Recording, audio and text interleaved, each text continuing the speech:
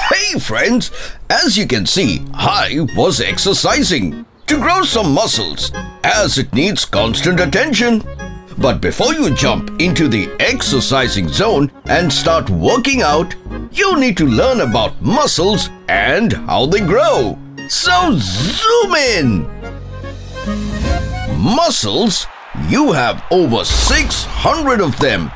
They come in all shapes and sizes to bind you, hold you together, and help you move and lift heavy backpacks. You control some of your muscles, while others do their jobs without you thinking about them at all. But one thing is sure, and that is they need your regular attention because the way you treat them will determine their condition if they will grow or shrink with time. But the big question is, how do the muscles grow?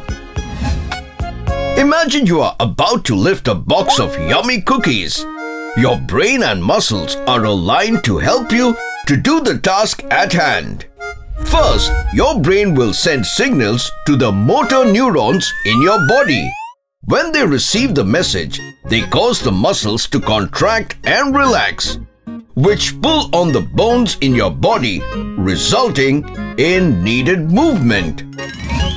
But what if this box is filled with stones? At this point, your arm muscles will find it hard to generate enough tension to lift and exposing it to stress, causing little damage, which in this case is a good thing. These damaged cells then release inflammatory molecules called cytokines that activate the immune system to repair the injury. This is where your muscles building process happens. The more the damage to the muscle tissues, the more your body needs to fix itself, eventually making your muscle bigger and stronger.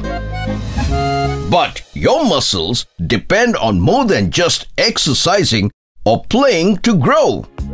Without proper nutrition and rest, it will be hard for your body to repair the damaged muscle fibers. So, play, eat, sleep, repeat. That's the mantra for a healthy body. Trivia time!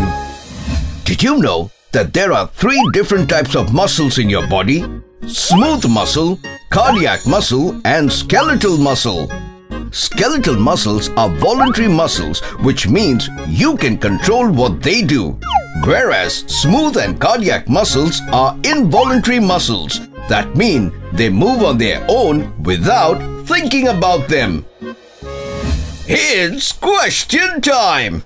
Today's question is, how many types of muscles are there in your body? Do write your answer in the comment section below and hit the like button to be a part of the Peekaboo family and get a chance to get it featured by the end of our videos. So, here are the winners of the previous episode. Hope you enjoyed today's episode and until next time, it's me, Dr. Binocs, zooming out. Ah, never mind. Hey kids, you liked my videos, didn't you? Before you go, don't forget to click on the subscribe button and the bell so you won't miss out on my latest videos. See you!